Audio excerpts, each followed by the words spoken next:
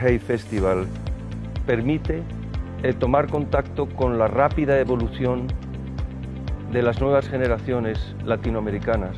Se están gestando artes populares muy importantes que por primera vez acogen las tradiciones locales con una naturalidad tremenda y las ponen en contacto con las culturas de la electrónica con la mayor sencillez. Esto es muy prometedor.